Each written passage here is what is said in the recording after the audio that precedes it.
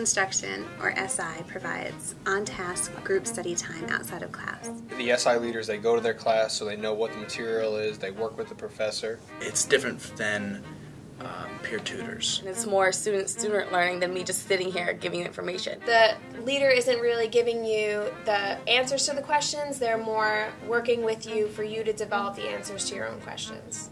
Studies have shown that students who study in groups perform better in courses than if they study alone. Uh, the students are paired up between each other so they can bounce each other ideas off of each other.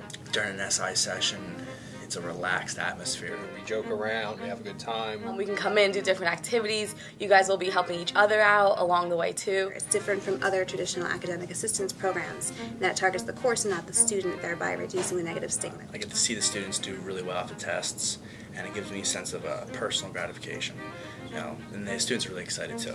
Well, I think SI is a great program, and I think it's really going to be beneficial um, to all the students, and it's really going to um, boost their grades if they use it to the most of their ability. So I think it's great.